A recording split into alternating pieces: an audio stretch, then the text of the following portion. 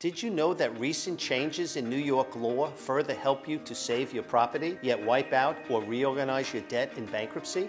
Say no to those creditor calls. Say no to garnishments, no to bank freezes, and no to foreclosure. But say yes to keeping your assets. Yes to a fresh start. My name is David J. Babel, the Westchester Bronx bankruptcy attorney for over 25 years. Know your rights. Call my office for a free telephone consultation.